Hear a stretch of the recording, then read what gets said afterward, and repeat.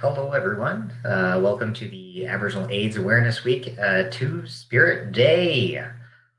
You are currently attending the Two Spirit panel, uh, where we have some amazing, uh, very informative, experienced individuals, resilient individuals, to talk about uh, the Indigenous health in response to HIV, the TRC's calls to action, and the unique experience of Two Spirit peoples when we're looking at HIV uh, within the Indigenous communities.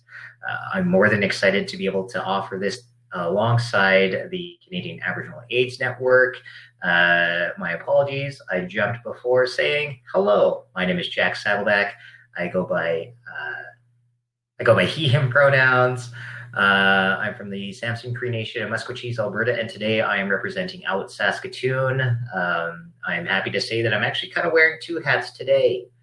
I have our cultural and project coordinator hats, but I uh, have just taken on a co interim executive director position here with our organization. So I'm quite uh, pleased and humbled to know that the work that uh, we can do within the queer community can further the aspects of reconciliation and decolonization. Now, we have uh, just a few housekeeping items that I may actually uh, turn over to my co host here by the name of uh, Janessa Tom, who's just going to kind of go over a few housekeeping items. Hi, everyone. My name is Janessa Tom, and I'm a program assistant with the Canadian Aboriginal AIDS Network. I live here on Treaty 6 territory and the homeland of the Métis Nation, otherwise known as Saskatoon, Saskatchewan. Jack and I have worked tangentially on AAAW events for the last couple of years, and so I was really excited to be able to have the opportunity to work with him on this Two Spirit event. So I'd like to say thank you to Jack and Out Saskatoon, as well as our panelists, Elder Marjorie, Elder Albert, and Martin, for being willing to share your stories and experiences uh, with the audience and all of those who are joining us from across the land today. So to begin, as Jack mentioned, we have a couple housekeeping notes. So for those of you who are French speakers, for French audio translation, you can click on the traduction audio en français under session information. For English closed captions, you can click on English captions under session information. If you require technical support, you can contact live support at the top right of your screen. It should show up in a red button. If you have any questions for the presenters, you can submit them via the live Q&A box on the right side of your screen. There will also be an opportunity for Q&A at the end of the panel. The discussion forum on the right side of your screen can be used to share comments about the presentations and topics. And there will be an evaluation at the end of the session, which will pop up on the right side of your screen under the poll section. I'll come on at about 1140, uh, about 20 minutes before we end, just to remind you about that. We would really appreciate if you could complete those evaluation questions. And more information about the platform can be found in the attendee FAQ, which is available in the help section on the top right of the platform. So now I will pass this back to Jack. Amazing. Thank you. So uh, I believe today I'd love to be able to start off with uh, number one, a land acknowledgement of each of the lands that everyone comes from. We, as Treaty people, uh, both on treaty land and on ceded territory as well, acknowledge that our ancestors of, uh, of these lands have gotten us to where we are. So, in in saying that, I do want to lay some tobacco down for for them at a later date. But this morning I, I did smudge, so uh, those prayers are up there. So I thank each and every one of you for joining us wherever you may be here on Turtle Island. It's much appreciated that you come and learn these experiences, hear from these uh, great individuals of uh, uh, Albert McLeod, actually Dr. Albert McLeod, if I am not mistaken, uh, Elder Marjorie Beaucage, and uh, last but certainly not least, my fabulous friend of Martin Morberg, uh, as we discuss the Indigenous health in response to HIV, the TRC's calls to action, the unique experience of Two-Spirit so, on behalf of Out Saskatoon, uh, I'd love to say some opening remarks in regards to um, what today means for us as an organization, but I think for us, uh, more specifically, myself as a Two Spirit person, um, today is actually an interesting and unique position. Uh, typically, we at Out Saskatoon, as well as the Canadian Aboriginal AIDS Network and the uh, Saskatchewan or Saskatoon Indian Métis Friendship Center and the White Buffalo Youth Center here in Saskatoon, typically partner up for our annual uh, memorial uh, Two Spirit Feast and Round Dance. Unfortunately, like all things in today's life, uh, things have uh, slightly pivoted and I am more than excited to continue on to honor those individuals who have uh, been affected by, uh, who are living with, uh, or who unfortunately have passed away from HIV and some AIDS complications as well. Uh, we, as Indigenous people, continue on our ceremonies in whatever way that we can. And today's uh, discussion is simply a reflection of that. You know, we are honoring those spirits. We are honoring those resilient community members uh, in in these lands that uh, consistently stand up to the challenging colonial landscapes that we all must work within. So, on behalf of Out Saskatoon, I am uh, more than happy to say that we can partner to do this and bring these voices forward. In saying so, I would also like to reiterate that Out Saskatoon is now moving into a very interesting direction within our organization.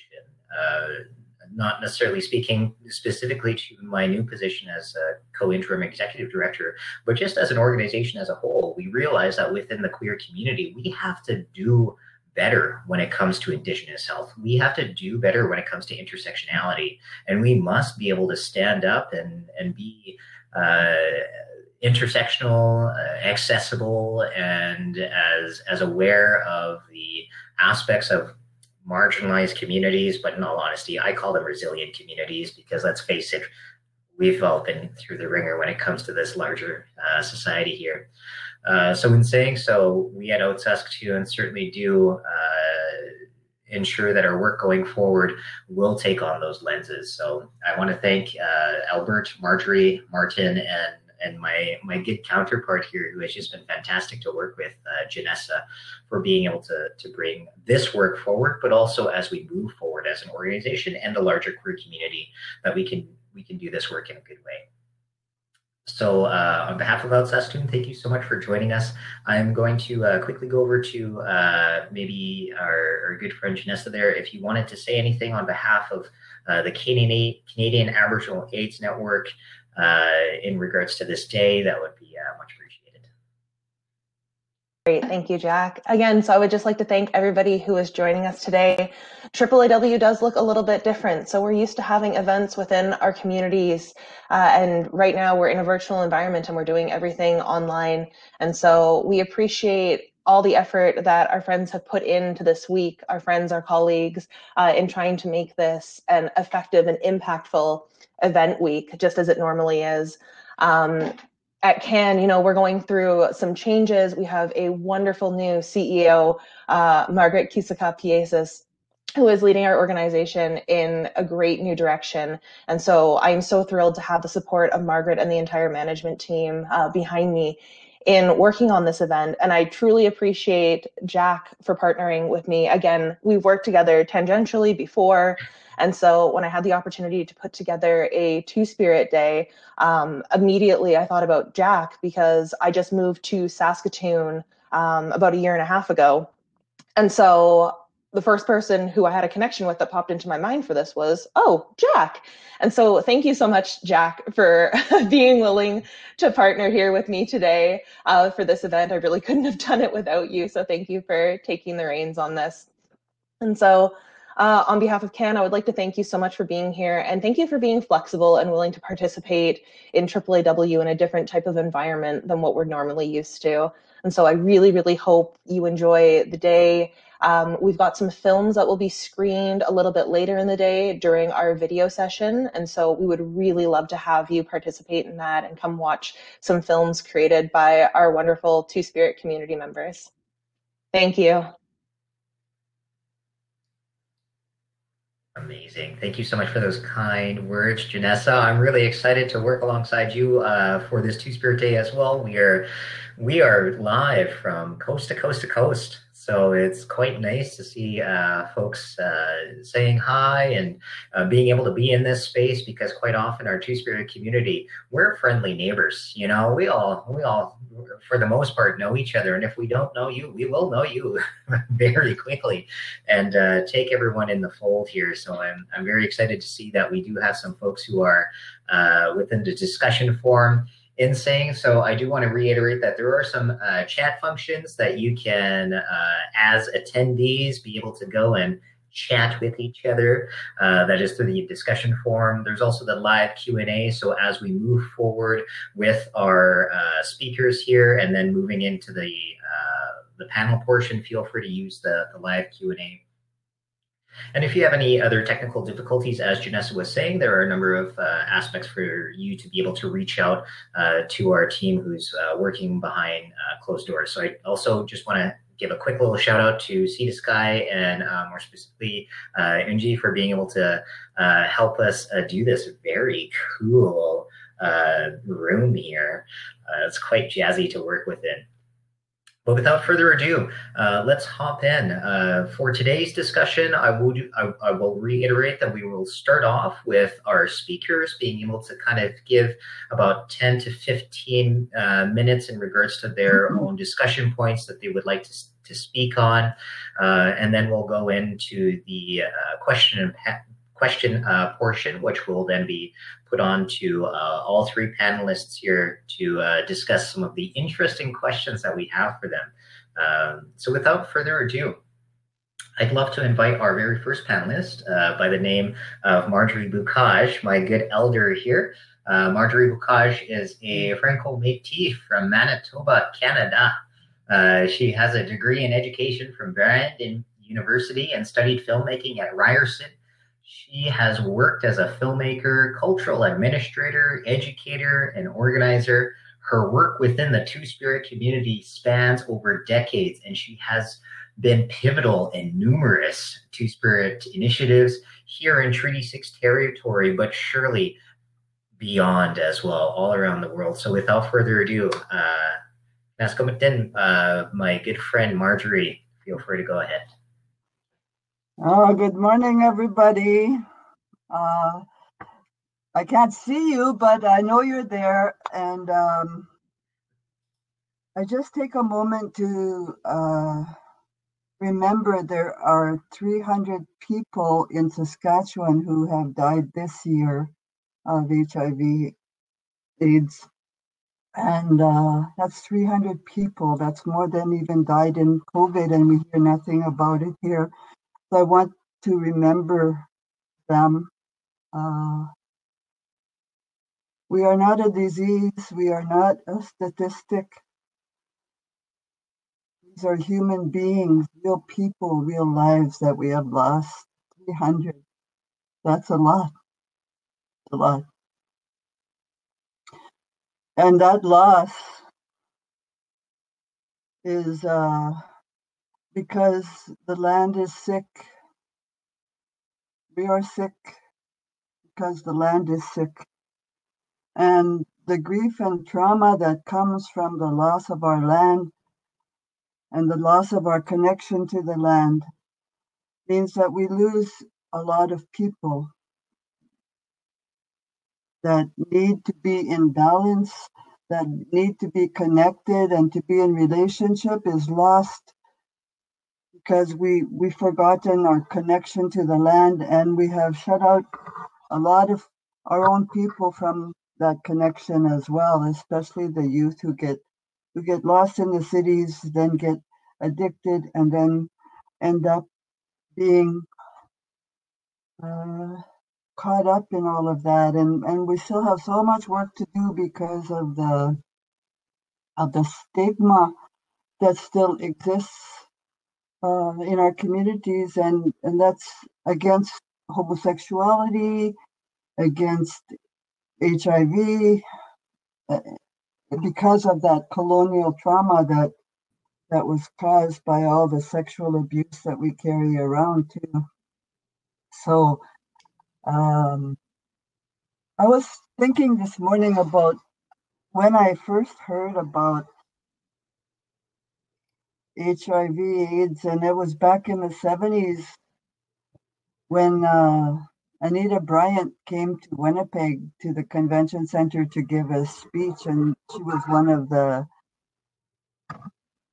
Christian advocates against, uh, you know, homosexuality. And and I went to my pro- a protest there at the convention center when uh, to stand up for for people. And then uh, and then René Highway and the Red Sisters came to town, and I realized that there were a lot of our brothers at that time who were suffering from HIV, and and uh, in the artist community is where I uh, I had my first connections to that as well, and uh, because to me the stories are how we remember who we are and and um, that is what i have used in my work uh, for hiv uh, and um, like the i went to work at Ka Ni Kanichihk in winnipeg for the aboriginal women responding to the aids crisis and there was what is our response how can we respond to all of this uh, crisis. And to me, story is the medicine. If people can make connections with each other through sharing their stories, through expressing themselves in in uh, art, uh, they're making medicine. They're helping each other, and that's what's most empowering. And that's what uh, we do in our peer support groups, whether it's Two Spirit or or women or HIV. Uh, it's always about helping each other and and um, the Mimingwa Masinate was a project that we did in Winnipeg that uh, was involved art and in community settings where we could take a piece of clay and sit down and talk about sexuality, talk about who we are as sexual beings and, and how we can be healthy in our relations. And uh, that was those conversations weren't happening and and uh, and so we had to find ways to do it in a safe way and i find that um, art is a safe way to do that um, and so then we traveled that art to communities and it gave people an opportunity to engage uh, by by seeing other people's stories and then starting to tell their own. Uh, and then in Saskatchewan, where I am now, the last 10 years, uh, that, that stigma, I realized is still so embedded in uh, our communities, and people are leaving, young people are leaving, the young people are leaving because of that homophobia and uh, it's still there. And so that's what we have to address in our own communities that stigma still. And uh, in working with uh, visioning health for the women, um, again, the message was the land. When we go out picking ceremony grasses and medicines, the women are happy. They're in contact with the land and each other. And when we do ceremony and when we when we uh, make art together that's when their spirits flourish and are nourished. And there's so little uh, of that going on still and how that's how we need to build to support each other culturally and to get past that that trauma and grief from that loss. That's that's the need to be in balance and to be in relationship with each other that way. Um, i don't know that's that's what's on my mind this morning for starters and uh, um, I don't know what else to say. Uh, I, I'm not used to talking in the air like this, so I'll just leave it at that for now, Jack, unless you have something else that I should be talking about. No, I think that's perfect. If you'd uh, if you'd like to to cap it there, we certainly do have a lot of uh, questions when we get to our panel portion that I, I for Mm-hmm. sure think that would um, drum up some uh, other points for you to to speak to. So if you'd like to uh, finish there, that's a okay as well. Awesome. Yeah, I think I'll leave it there for now and um, um, see what people are feeling and thinking, and uh, we can continue. Hey, hey, thank you. Thank you, Marjorie. All right, I am very excited to introduce our next speaker by the name of Dr. Albert McLeod here.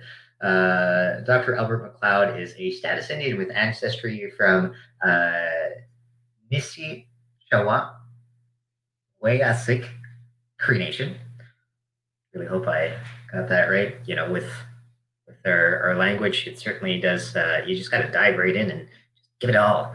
Uh, so with Cree Nation and the Métis community of Norway House in northern Manitoba.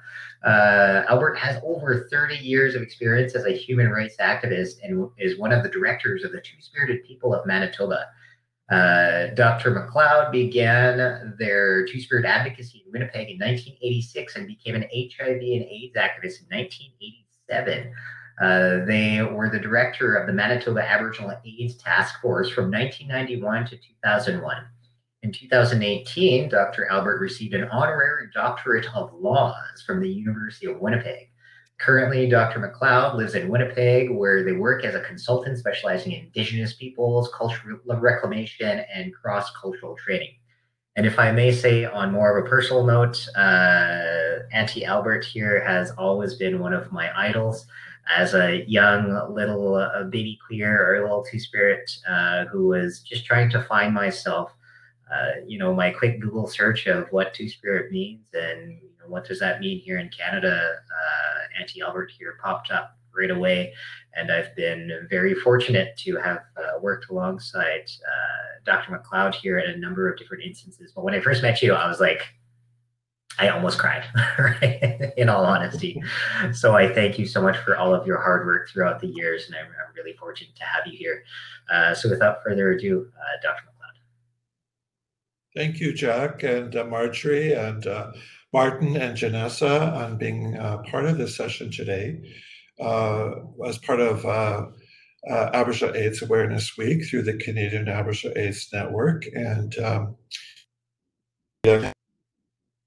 from the very beginning of the pandemic, and one of the first gatherings that was held by the federal government was in 1988, uh, just after we knew that this was a, a, sexually transmitted virus and it could be transmitted by uh, blood as well. And um, uh, they met with uh, elders, traditional healers, and knowledge keepers. And I find it an interesting perspective that uh, when something like uh, this new virus came into the world, that that was the first place that the federal government went was to our knowledge keepers and our traditional healers.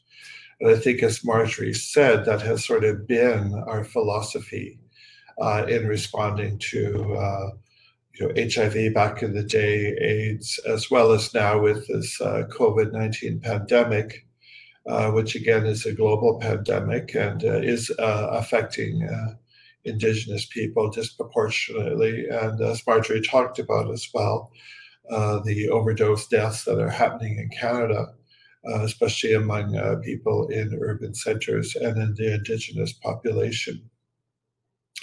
You know, going back to those days uh, in Vancouver, where I sort of migrated after I uh, you know, sussed out Winnipeg as a place to live. And it really wasn't, there was really no gay culture here, gay community and certainly indigenous queers were not uh, appreciated in the gay scene. So I went to Vancouver in 1979. That was really the time when the virus was making its way into North America and especially among gay men.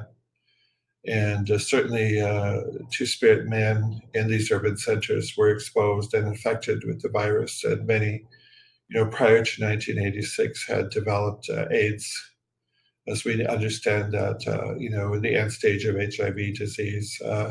And in those days, there was really no treatments uh, for those uh, opportunistic infections that people had. So they became palliative uh, very quickly and died very quickly. Uh, because of the stigma uh, around HIV and a, well AIDS, I could call it quote unquote AIDS stigma, was uh, you know very prominent uh, around the world. It still is in many uh, cases. That many of these Two Spirit men uh, never made it home. Um, you know, many were rejected by the family. many died alone in hospitals in Vancouver, Toronto, Winnipeg and uh, Montreal, Calgary. And so that era of the early understanding of this pandemic was really concentrated in my generation. Uh, this year I'll be 65. And so in those days, uh, you know, we were a generation of two spirit people who were dealing with these life altering issues of losing our friends uh, to AIDS and really not having a voice or having a connection to our communities or f- support from our leadership in doing this work and uh, guiding people, you know, to the spirit world. But what I've learned from that, you know, is that a birth of a baby is so profound and full of uh, love and energy that there is also the end of our uh, physical journey where that same love and uh, life force uh, presents itself when someone is palliative, when someone's life journey is ending. And so for myself, uh, I'm privileged to have been at those bedsides to witness, you know, uh, people when they uh, go into that spiritual journey and how that manifests. And it really is the mirror of birth. And so, for the Spirit community over the last 40 years, uh, we've learned what that means, you know, the, the beauty of birth, but also the meaning of death, and that we are only here for a short time, relatively, and that, uh, you know, we all leave a legacy, uh, whatever it is no matter what perspective we come from, uh, you know, we leave stories, we leave family, we leave humor, uh, you know, uh, we leave the love that we shared with each other. And even if many of them were very young, even if it was only 20 years, you know, uh, they left a legacy. And I think for the Canadian Aboriginal AIDS Network, that's what we continue to uphold is that legacy of people who were diagnosed with HIV, those who died of AIDS, and other uh, you know situations, whether it was suicide or overdose or poverty. That you know that's our job as the survivors is we hold up their legacy uh, and we let them shine without any you know uh, concern about criticism. You know uh, indigenous people are so you know overwhelmed with uh, systemic racism and incremental genocide. You know uh, we are always challenged to uphold our own people who live normal lives you know who live a life. And so that's part of our work at can is to you know uh, cut through all the bullshit and uh, show you know our society that we are strong uh, creative uh, people, and we are, you know, able to survive these pandemics. Um, we really don't know, you know, what the true impact of this uh, pandemic of HIV is on Indigenous peoples in Canada. The data is really not clear. But I think in many ways, because uh, Two Spirit people stepped up to the plate very early, um, by about 1989, that uh, we've mitigated the number of infections that potentially could have you know uh, raged through our communities by our early intervention back in you know the the 90s and uh, you know those two spirit people you know lesbian trans uh, you know gay and bisexual men who stepped up to the plate and confronted this, these stigmas and uh, worked you know diligently for many years uh, in many sectors you know, the federal health sector, uh, the community sector, doing outreach, managing projects, And uh, Charlotte Brooks just uh, posted uh, an image of her and Dorland McKay uh, from, uh, I think, the 90s, where it was an outreach poster where there were two HIV positive people, you know, talking about, you know, sexuality and HIV. And and many, even today, uh, you know, uh, there's still so much big, uh, stigma. People are still concerned about even being attached to a two-spirit identity publicly, or uh, talking about HIV or uh, drug use. You know that uh, those things are so stigmatized in our society. There's very few people who are willing to stand up and do it. but you know, we really honor today those who continue to do that.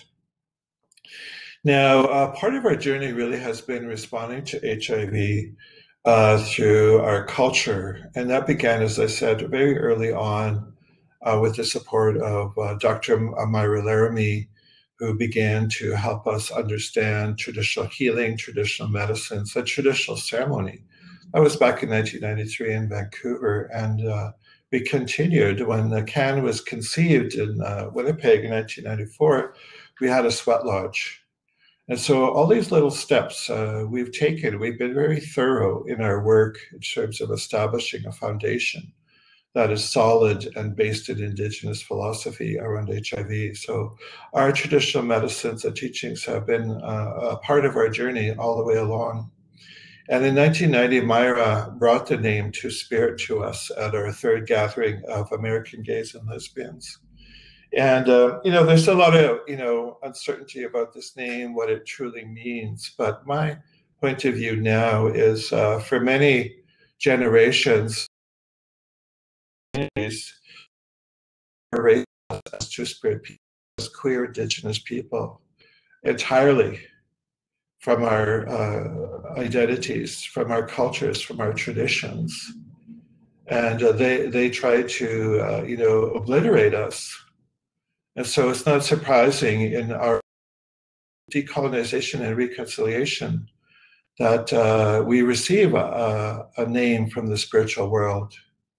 And our name is about our spirituality, spirituality that predates colonization, a life philosophy and a worldview that predates colonization, a relationship to the natural world that all Indigenous people have. And from that uh, teachings about strength and knowledge and uh, integrity. And so, you know, uh, we didn't just get one spirit when we came back, we got two. I like to think I have one spirit for, you know, shopping and one spirit for cleaning the house. And, you know, people really get caught up in this gender identity around the two spirit name, but we should be, you know, aware that, you know, in our rebirth, in this decolonization and this resurgence, is that we carry a spiritual name.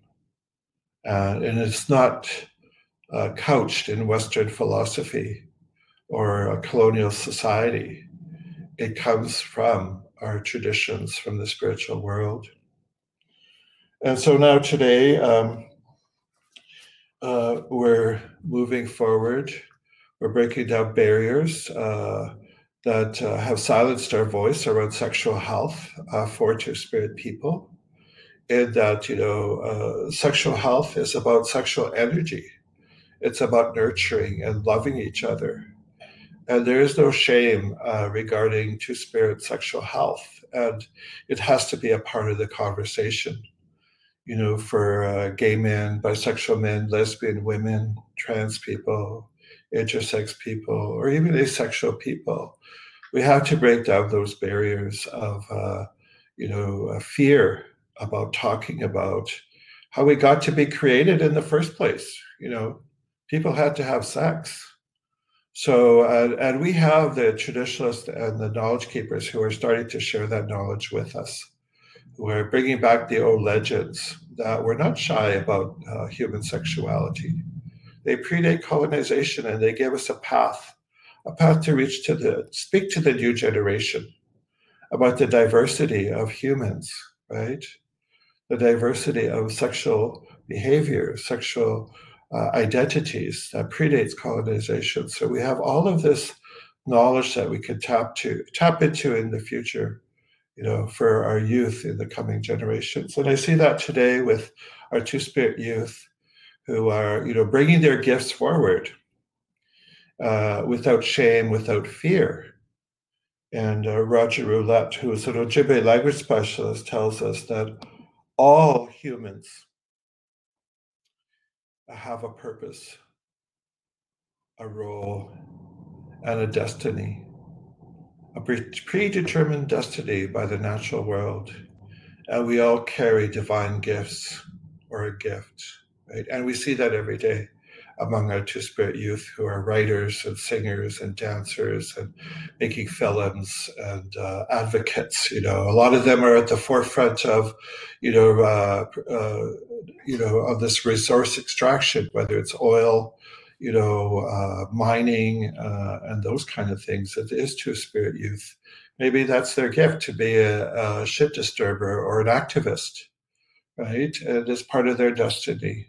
So we need to honor all of those things and uh, and you know not forget that you know this uh, journey of HIV has brought us this far, and there's a lot more uh, further that we will go in uh, decolonizing uh, you know North America.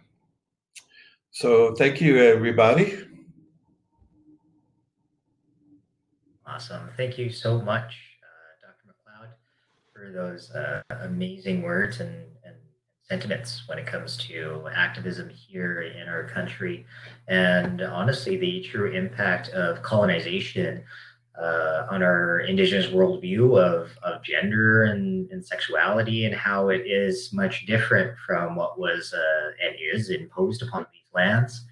Um, and just on a, on a quick side note, I was a witness yesterday giving a statement to the Standing Committee on Justice and Human Rights regarding Bill C 6 and conversion therapy uh, just yesterday and reiterating the fact that colonization, the reason why we're in such harm's way is, is because of that, is because of colonization and, and these uh, binary aspects and, and heteronormative and cisnormative uh, narratives that are uh, trying to be imposed upon our peoples when in actuality, you know, we just like everyone, you know. Awesome. And thank you so much, Dr. Albert. I look forward to uh, hearing some of your comments uh, as we move into the question portion.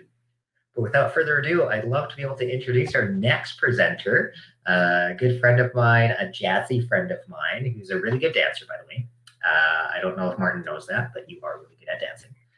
Uh, but Martin Morberg is a Two Spirit Indigenous HIV activist born and raised in the Yukon Territory. Uh, his motivational speeches have been heard in many Indigenous communities throughout Canada and internationally at the United Nations and World AIDS Conference. It is Martin's goal to empower the lives and voices of Two Spirit and Indigenous peoples affected by HIV and AIDS and addictions while contributing to the visibility of these communities.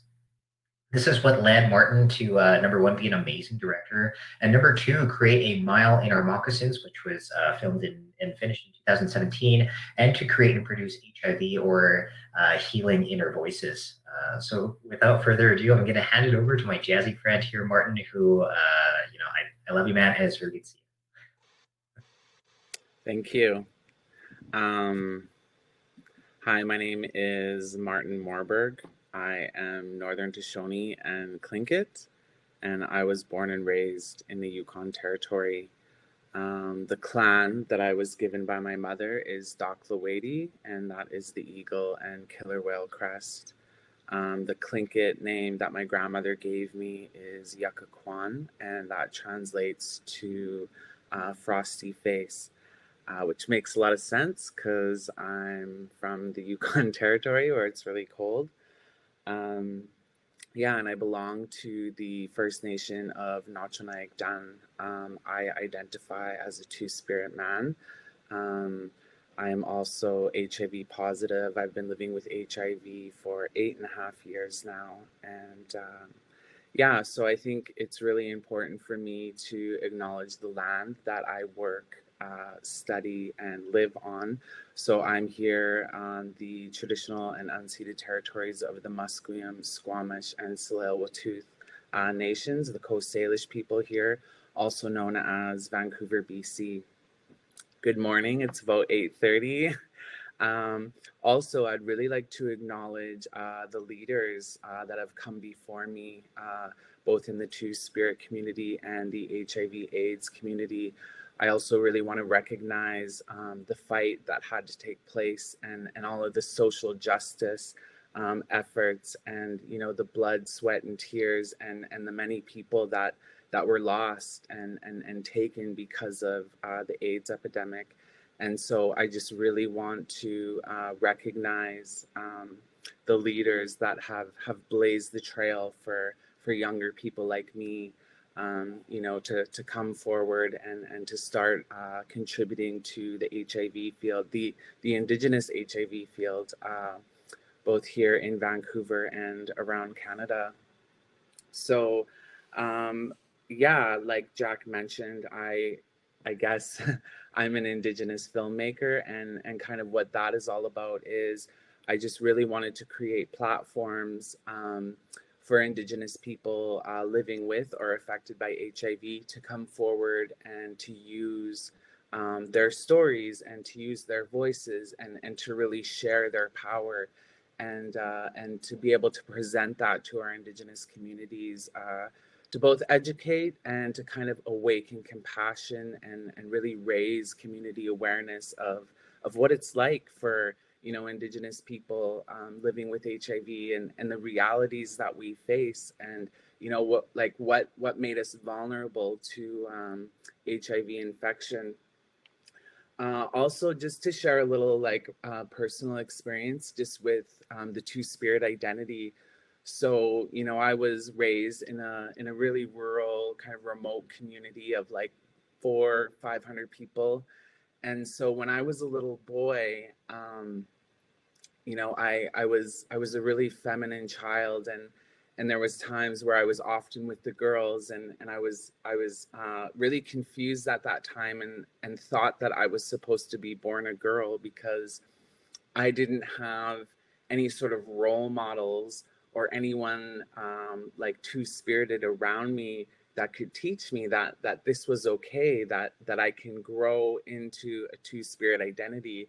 And so very quickly uh, within my own family and you know within the community i was i was shamed as a child. I was i was shamed for being that feminine child.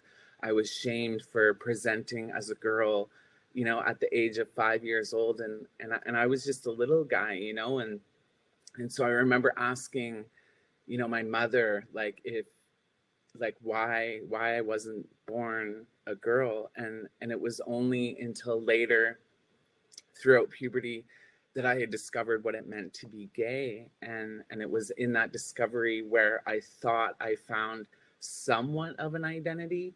And you know just just the bullying that took place and and just this really kind of like alienation and you know uh, the loneliness and kind of desperation that I felt at a really young age you know um, you know, just being uh, excluded and, and not really being able to find my place. And so when I was old enough, you know, I had this idea um, as a as like an 18 year old is, you know, I'm gonna run away to the city and, and I'm gonna find this connection and and I'm gonna find community and, and I'm gonna find acceptance and and you know, and so I did. I ran to the city and I was just this lost child kind of looking for his identity. And, you know, I, I, got into the to the gay scene and, and I found that it was really difficult for me to find identity.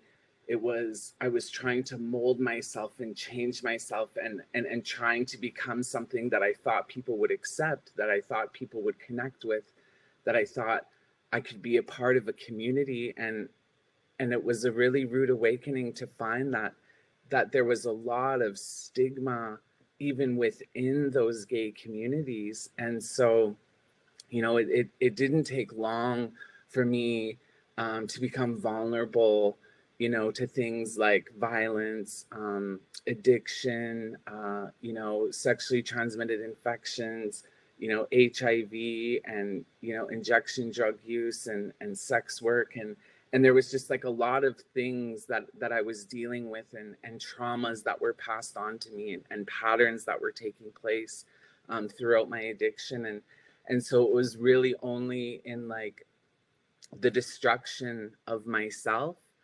And it was only when I completely destroyed myself that I was actually able to find community and I really believe that I was really humbled into a position where you know i was i was almost forced to seek and and what i was seeking was was ceremony and and that connection to culture and that connection to spirit and and that connection to to other people living with hiv and so you know when i got into those communities i was just this young you know rookie and and i i couldn't say my my diagnosis out loud and, and I started to meet other people that were living with HIV or that were affected by HIV. And it was really like the love and the nourishment of these two spirit community members and of these HIV positive community members that really empowered me. You know, they really nurtured me. And, and I'm a really strong believer in kind of the oral history of Indigenous people of how they've used storytelling um, as knowledge transfer. And so, you know, I, I presented at some CAAN conferences and, and I got to meet some really, really amazing people. And, you know, I, I started getting all of these different opportunities to travel to all of these forums and events and conferences. And, and what was happening at those conferences is I was hearing these stories. I was I was seeing all of this really important and amazing work being done. And and I really started to find myself. I started to find my identity and and I'm just so grateful, you know, for for the two spirit identity because it was it was almost in desperation that I was latching on to something to empower me to love me, to help me feel accepted, to help me feel like I was a part of a community. And and that was the two spirit people that gave me that. And I was really fortunate to have, you know, some teachers and leaders that that really reached their hands down to me and, and they pulled me out of the dark. And um so yeah like once i was you know really being nurtured and and empowered that's when the that creativity started to come to me and and that's when you know all of these stories started to come to me and all of these teachings and ceremonies and elders and you know it was it was that was my inspiration to get into the work that i do today. And so you know i would go home and i would go back to the drawing board and i would say you know like there's all of these amazing stories in our communities and and why aren't they being heard you know? Like i'm being asked to sit on all these boards and committees but but where are the voices of the community?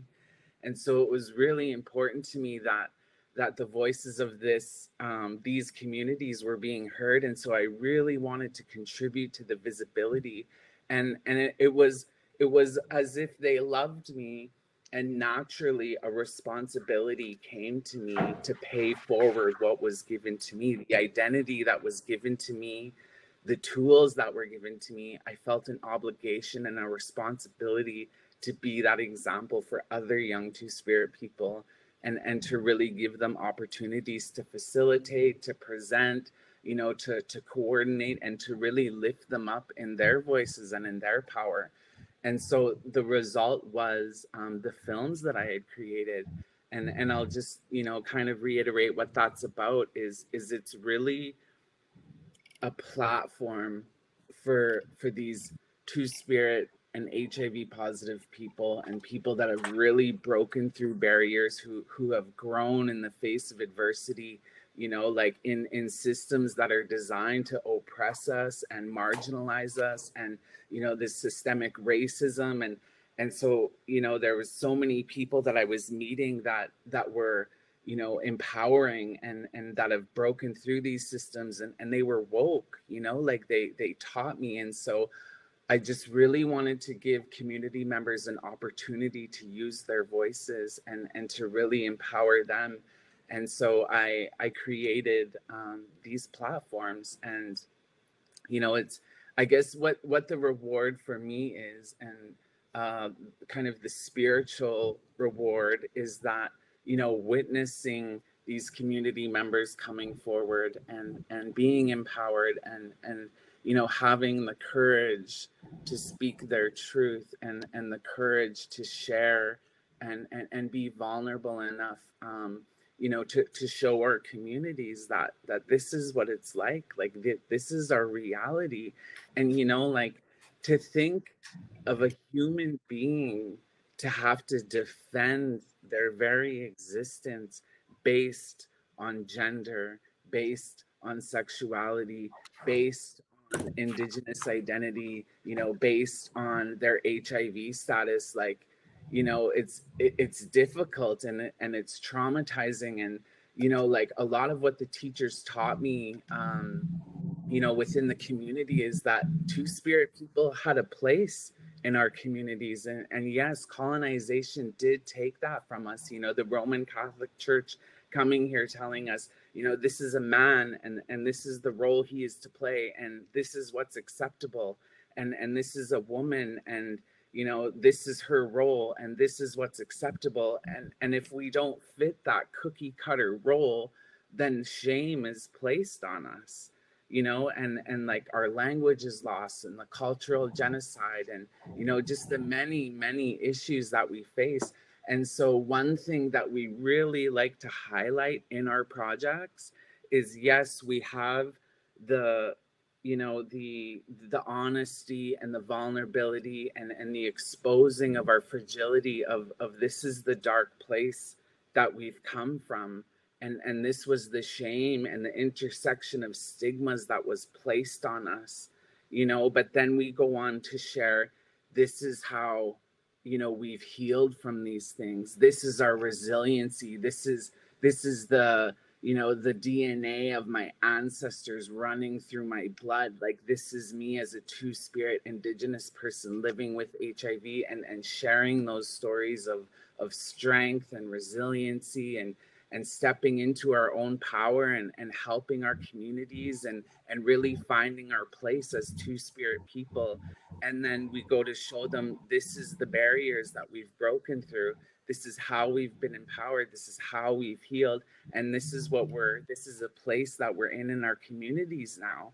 And so really it's it's kind of a trajectory of of yes that's what it was like and and mm-hmm. this is what we've done and and this is how far we've come and and we i just and i think that is the contribution to the visibility is that it's not all sunshine and rainbows but we can heal, we can be resilient, we can break through these things, and then we can use that, you know, to help and empower our communities. So I think, yeah, like it's it's just really for me, it's I don't think about it as a career. Like I go to school, I work different jobs. This is really a part of my life that that is a spiritual kind of thing for me and and it's a responsibility and and it's a purpose and i really keep it separate from my professional life.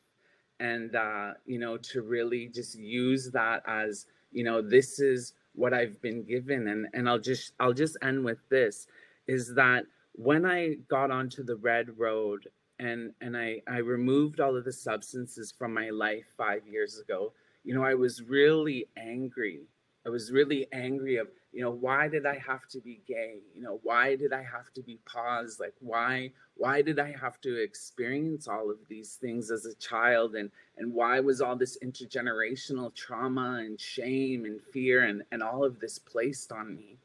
And I was angry, you know, and and so it was through my own healing processes of of 12 step programs of you know, um, and deal like um, getting into ceremony and, and learning from leaders, and that I was empowered enough, um, you know, to start presenting in community, to empowering other people, and to taking other people into ceremony, and you know, getting an opportunity to present on international platforms.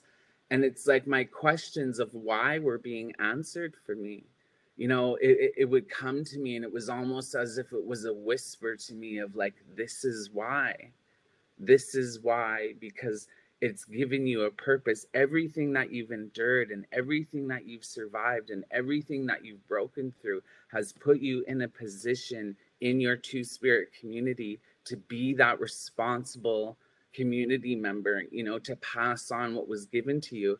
You know, so it was really that two spirit and HIV and indigenous communities that gave that to me. They gave me a purpose. They gave me an identity you know they they gave me tools to contribute to the community so I, I will never ever underestimate you know the power of storytelling and the power of contributing to the visibility of our people you know and the power of planting a seed and and being an example of resiliency and and breaking through those things as a two spirit indigenous person living with hiv um yeah, so I'll just leave it at that. Uh, it's been a real pleasure um, listening to uh, both Marjorie and our other two spirit leader, um, uh, sorry, Dr. Albert McLeod. So thank you for having me, Jack and Janessa. And um, yeah, we can move along. Thank you. Appreciate all of the uh, resiliency and, and the strength that you bring within that. I think it's very important that we, uh, as you're saying, continue to uplift our, our, our Two Spirit youth or Indigenous youth, and more specifically, our youth who may be living with or affected by uh, HIV in, in whatever form that may be. Uh, it's it's truly an honor to have you here, and to honestly just to have you uh, to to grace this realm. So thank you so much for all the gifts that you bring. Uh, it truly is uh, an honor to to work alongside you. So, in saying so, uh, our three uh, speakers here, we're going to be moving into our question portion, but I do want to reiterate for our attendees here that we do have a live Q&A portion, which we will be uh, looking to near the end of our formal uh, panel questions. So you can actually look on the bottom of your screen there. You're going to say live Q&A uh, button, and that's where you're able to ask the questions specifically to us, and that just helps me be able to ensure that I'm not, uh, you know, glossing over any questions, and they're a nice little tool for me to check box off of all of the uh, questions that come in. So, feel, so please feel free to uh, utilize that particular uh, tool there in order to ensure that I'm not uh, missing your questions. So, without further ado let's let's ask some uh, some Q and A questions here. Huh? All right. Can I, just, can I just say something, Jack? Yes. Yes. Go ahead. Seeing as how I will have to go first, now that I've listened to all this wisdom, I really want to thank you, uh, Martin, because the young people have helped me a lot. Because um, they're stepping up and they're not afraid to be who they are, and they are demanding their inheritance and um, seeking their place in the circle so that they can use their gifts. And one of the, the things that uh, Albert reminded me of that I want to reiterate is that Two Spirit have stepped up and are taking their place. And what is our job? You know, what is our job, our responsibility in that circle? And I always think about or go back to Alex uh, Wilson's words about coming in instead of coming out, to come into that circle and take our place and and to use our gifts. And what is our job, our responsibility. And and to me that's to balance the circle. And our circle is so out of whack because our place is not recognized or acknowledged. And the more we stand up and take our place, like the young people are doing, the stronger the circle will be. And we stand in the middle and we balance, we balance that circle and and heal that circle. That is that is the gifts that we bring. And so I thank you for for sharing your gifts. And as a fellow filmmaker, I I uh, also uh, use that medicine for for the same purpose as you to, to have people take their place. I did that that one in Saskatchewan to open those conversations as well. You know, there are coming in stories take our place with the youth because that is the future. And and I so I'm I'm very grateful that that you are uh, taking up that that road um, and doing that. That's all. Yeah. For those kind words and that, that follow up. And it's really nice to hear that we as a two spirit community can continue to uplift each other because that's uh, that's. You know, where our strength is our resiliency through all of these generations, even before colonization. And I think it just goes to show the uh, the people within this room right now and the folks who uh, unfortunately were not able to join us, where uh, where where we're uh, evidence that assimilation, that colonization, that these tactics uh, have never worked, nor will they ever work. You know, we we are this the spirit of our ancestors and the spirit of these teachings, um, more specifically two spirit teachings. So it's uh, it's just all a good feel. right. Um, but without further ado, how about we uh, we'll jump into some questions here in regards to our formal uh, panel aspect. Uh, I'm going to uh, maybe combine these uh, the first question or questions. Uh, so number one, this is a two-parter. What does Aboriginal AIDS Awareness Week mean for you? And second to that, what might be missing when looking at HIV and AIDS activism within Indigenous communities? Uh, maybe I'll jump over to uh, Dr. McLeod here to start us off, and then we'll we'll go over to Marjorie. Yeah, part of uh, Aboriginal AIDS Awareness Week here in Manitoba, especially Winnipeg, has been around destigmatizing HIV, AIDS, and then testing. Uh, we worked with the Aboriginal Health and Wellness Center at the Neeginan Center, which is uh, an Indigenous, uh, uh, huge organizational building on Main and Higgins. And uh, last year, uh, for the last two years, we've been doing different HIV testing technology on uh, during Aboriginal AIDS Awareness Week with the help of the clinic there at the Aboriginal Health and Wellness Center. This year we were not able to do it because of the pandemic, but um, uh, last year we uh, had um, three different types of HIV tests available, uh, and we usually get 100 people come through the atrium that day, and it's a full day event where we have food and speakers and, and that kind of thing. And um, so what we did is we separated out uh, the three different tests. One was the standard blood draw test that most people are familiar with. The second one is the dry blood uh, spot test uh, that can also, you know, detect uh, hepatitis C and other STIs as well as HIV. And then the third one was the rapid HIV test, where you know within, you know, two minutes whether it reacts uh, to the antibodies. And so uh, we did that for two years now. And uh, hopefully next year in 2021, it'll be different. Uh, we'll be able to promote this new technology uh, to the Indigenous community. So it's enabled us to partner with Indigenous community organizations and the Indigenous public community to be aware that these tests are available. And we now have uh, in Canada rolling out the uh, HIV self test uh, kits that will be uh, available across Canada in 2021. Hmm.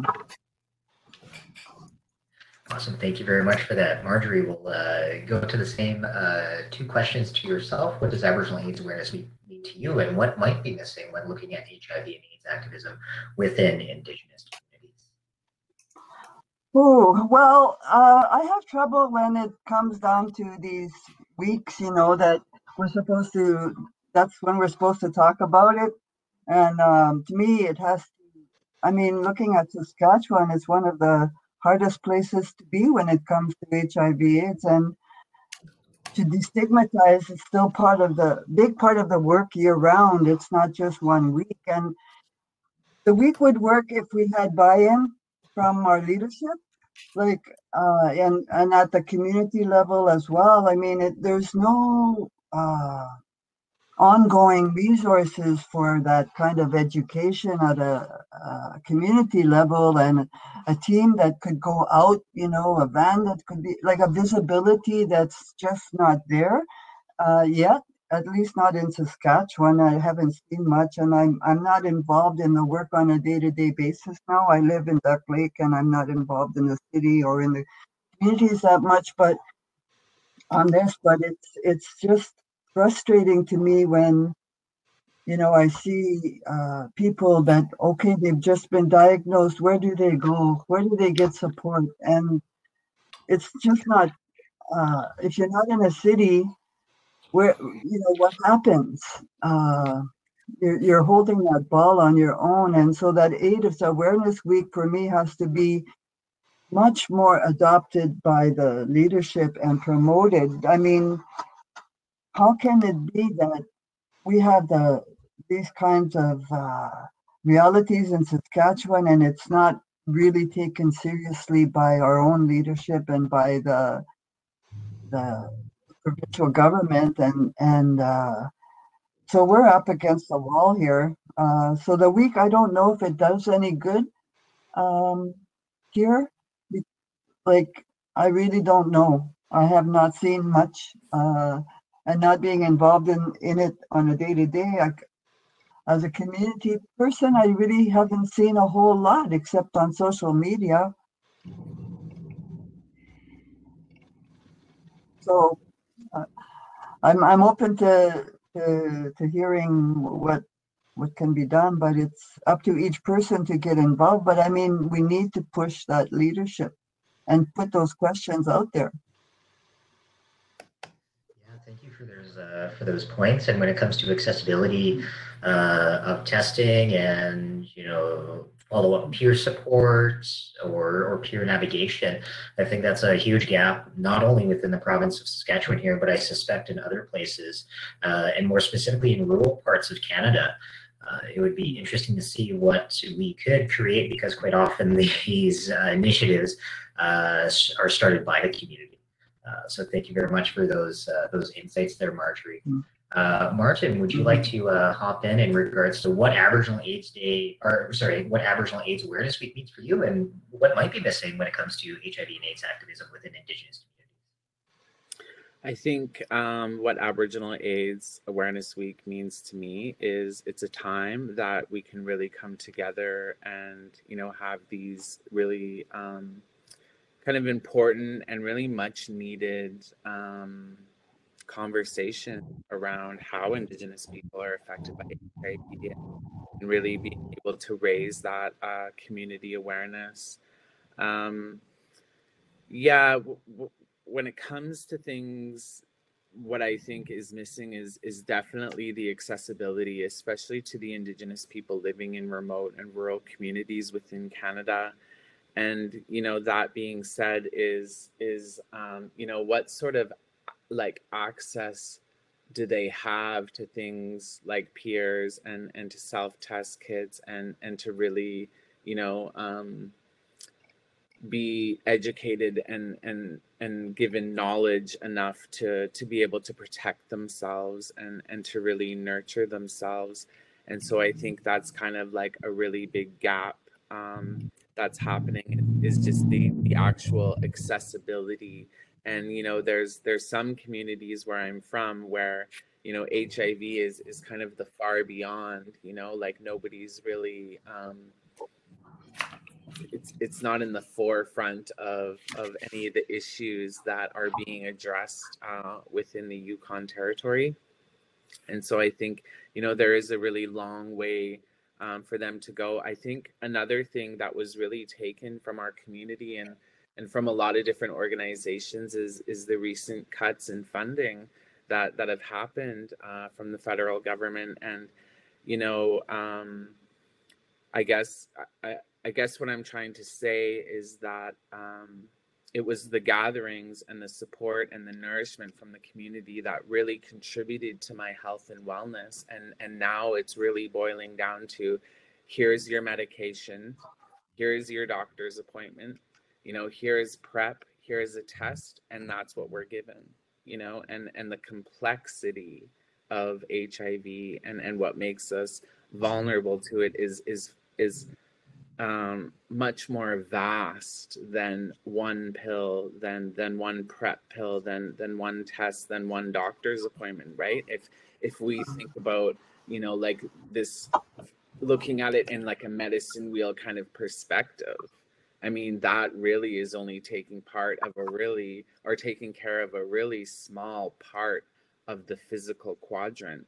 but if we're thinking about mental spiritual emotional it's it's where is that nourishment coming from right and so i really believe that you know um, in grassroots in in community based projects and you know um, working you know even on an individual basis to to get those conversations going to to even have a small impact or, or to turn the light on for somebody or you know to be a resource for someone. And and so i think aboriginal aids awareness week is a time where we can go public with these things but you know what are we doing for the other what is it 51 weeks of the year? And and and how am i contributing to that right? And so i i really take that seriously of you know being a, a resource for people um you know who who might not be as fortunate as I was um, to to have the experiences that I've had within the community. So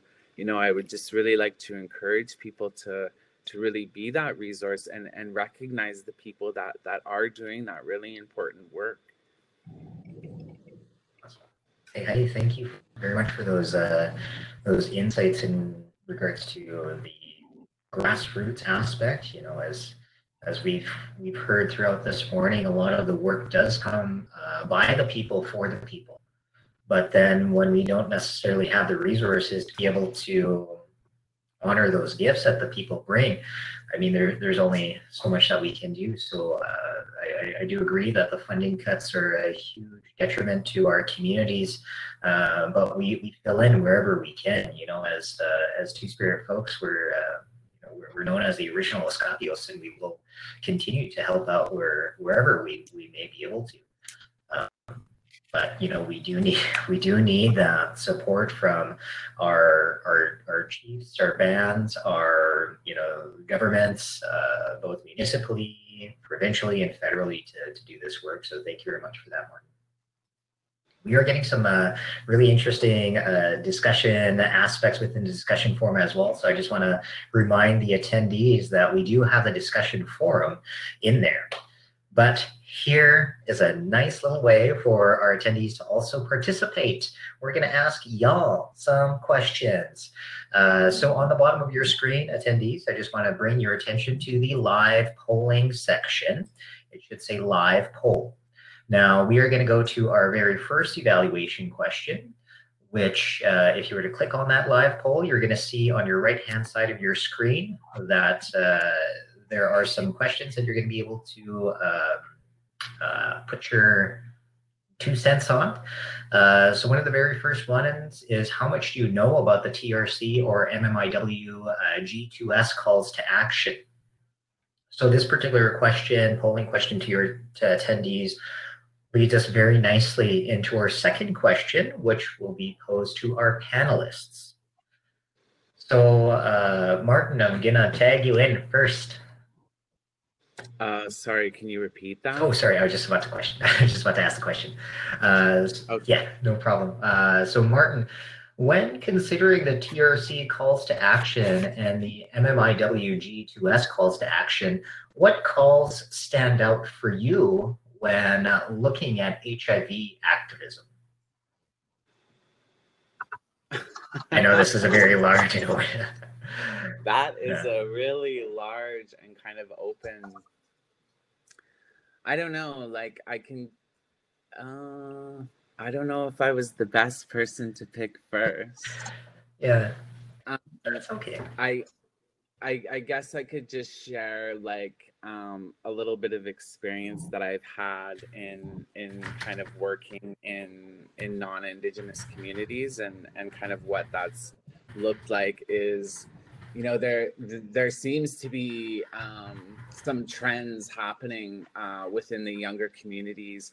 And you see a lot of, of hashtags of, of BIPOC and, and QPOC and Black and Indigenous people of color and you know you these people coming together and these social justice fighters and and so i i think it's really important um, especially for me within any sort of activism that that i've done that that i realize you know that people that have come before me and and the people that have really gotten uh, and and felt the wrath of like those kind of traumas and, and the things that they had to survive. Like it isn't this trendy thing to be like BIPOC or QPOC or, or two spirit people. It's, it's really important for me to recognize kind of where that comes from and and the people and the events and and and the fighters and the survivors that really had to take place in order for us to get where we are today so i think there's a, a lot of um, knowledge transfer that can happen between you know the younger generation and survivor generation that's, where we are today. And so um you know that being said like i think that there is an awareness happening. You know people are waking up and and this younger generation is, is becoming aware is becoming aware of you know systemic racism and, and and a lot of the intergenerational impacts that, that we deal with. And you know like like and it's it's it's nice to see um non-indigenous people kind of recognize the privilege that they have within our systems that were built by their ancestors. I mean, they're still benefiting from the structures that were created by their ancestors that were designed to to kill the Indian within us, you know? And so I think that being said too is like I mean I can't I can't touch on a lot of it. Um, I'm still very much a student in, in a lot of these areas, but one thing that I will say is that it's it's been a real challenge to to to sit in a position in the community where I'm working with community and then I'm working with colonial structures and, and granting processes and funders and, and researchers and academics. It's it's they they come to us with these frameworks and these structures, giving us the idea that they have the solution that they have what we need and that they're to come in and and you know implement these into our communities and, and and teach us how to live and it's like we're in a place now where you know this resurgence and and this reclamation and and this identity and, and and going back to culture and and that's really happening this it's it's it's a phenomenon that's that's happening um, in a lot of communities throughout Canada where you know this reclamation is taking place. And so often I find it, I, I try and stay really true to the community based, to the peer led, to the indigenous led projects that I work on. And so when I'm working in that community and I'm I, we're creating collectively a vision, um, and then having to present that to grantors, it's like oh, this is where we can stick research in, and and oh, this is what it can look like, and oh, have you thought of this, and oh, can you do this, and and then they they there's been times where I've been tokenized, and there's been times where I've been they've tried to relay our vision to their teams of of these professionals and and it's lost in translation. Our our peer led grassroots vision is lost in translation and so i've i've had to do it where i've had to you know it was that resistance of no this is peer led. This is a community based thing. We are we are not doing this research. And and really having to call a spade a spade in in a setting where that's not socially acceptable. Mm. And i think one thing that i've learned um, especially being raised by an indigenous woman is is getting to the point and and stating facts and stating the truth. You know there's there's none of this beating around the bush speaking a language that that isn't mine indigenously. You know i'm just going to come out and tell you and call a spade a spade and this is a colonial structure and and this is oppressive and and this is not working in our communities and so i mean that's kind of the only experience that i've had is that i think it's really time you know for non-indigenous people to sit down and listen you know and and and to recognize themselves as allies and and that this isn't a trend that this isn't something that's in style. You know this is these are the lives of indigenous people and and this is a reclamation that's taking place within our communities so Mm-hmm. um, i'll leave it at that i'm really excited to hear uh, what both of our elders have to say so i'll just leave it at that thank you Thank you. Uh, we'll go over to uh, to Auntie Albert here, so you can go warm up your toast after your your answer. Uh, Yeah. so, when considering the TRC calls to action and the MMIW uh, to uh, G2S calls to action, what stands out for you when it comes to HIV and AIDS activism? Um, and if I may uh, further ask this to to yourself, uh, specifically to, to to to Albert and Marjorie, is what about like Two Spirit peoples within these calls?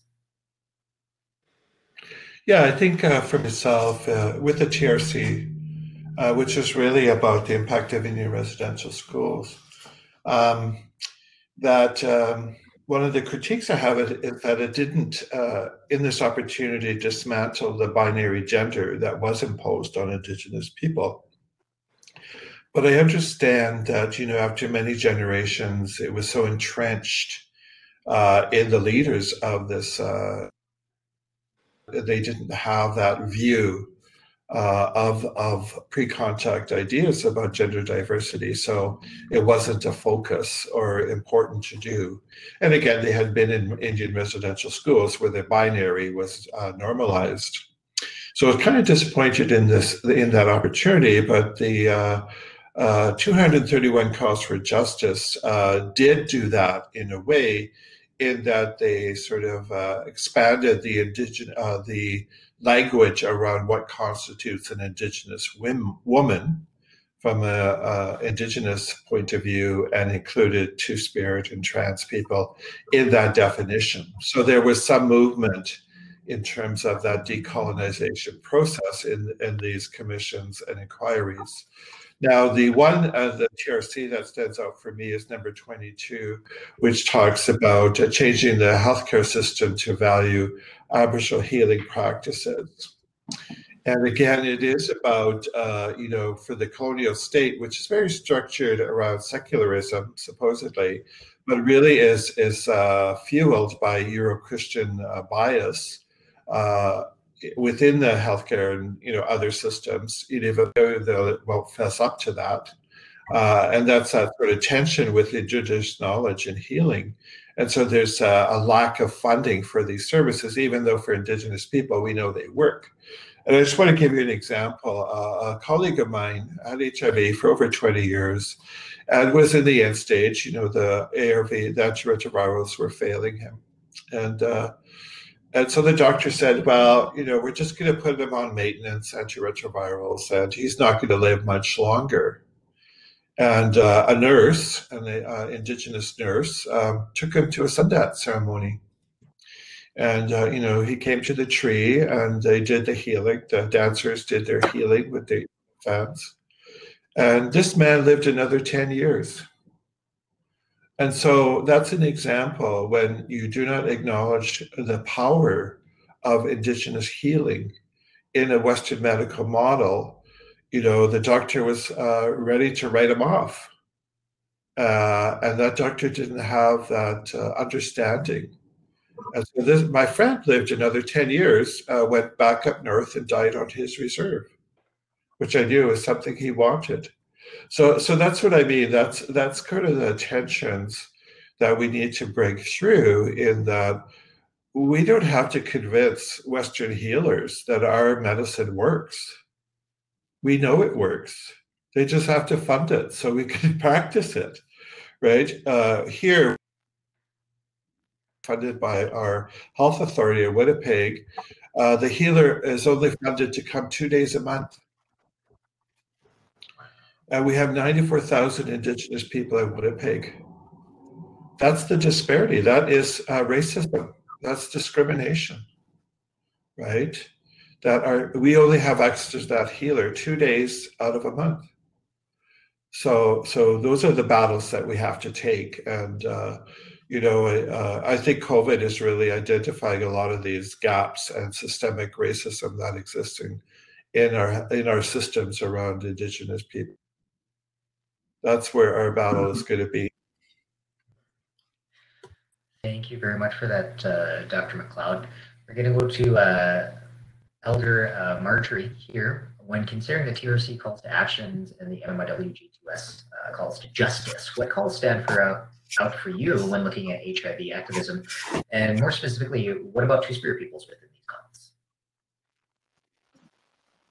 Oh, I have a lot of trouble with the TRC uh, calls to action, like in a lot of levels, but who is being called to action exactly? You know, this is all framed in the colonial government terms. And like what I want is a call to action in our communities with our knowledge keepers that we do the work of digging through the colonial trash and putting our truth and our ways forward like uh, albert was saying that that and have the resources to make it happen. It's the land and the language you know that are are the healers and where and a place to to do uh, these ceremonies and gatherings for everybody and and it's so limited like we haven't we haven't got that capacity yet that's been developed in our own communities. We are there. It's there but it's so buried under that colonial trash that we have become powerless in executing them in in a daily basis. Like every community should have a wellness center and where people could come in and feel safe and do art and share stories and do ceremony and and everything would change and it's like there's so many divisions between that christian world and our world view that that has to be bridged and what is our job as uh, Two Spirit, I, I find that my work has been to be bridging that gap, to stand in the middle between these worlds and to and to hold them so that they can talk to each other and find a way through. Because as long as we stay in separate worlds, these calls to action are not going to happen. I don't see the police, I don't see the churches, all these people that are out there, you know, stepping up to to change or to make these things happen. I don't see governments doing that. I, I, and I think we're, and the people are so used to waiting for those dollars and hands out, you know, for the dependent, you know, the dependent on government money. But we have a lot of resources that don't need money. You know, we have the land, we have the ceremonies, we have the medicine. So it's like we have to pull it together. And I just get tired sometimes uh, of seeing people stuck and and uh, not taking action on their own behalf. Our call to action is a call for us to be self-governing. It's a call for us to stand up and take responsibility and and to to do what we have in us to do. Like uh, Albert was saying earlier, that we all have a purpose, and and so what is our purpose in this matter? It's it's unconditional love. It's harm reduction is unconditional love and not judgment. And so to continue to break down that that judgment and that, and that fear and and get, break through those walls that the church has built that is what the call to action is for me and it doesn't we can't wait for the government or for for the society around us to do it because it's not going to happen. They don't give a. yeah, don't. fill in the blank there, hey. Eh? yeah. yeah. So, a uh, rat that? Is it rat Yeah. yeah.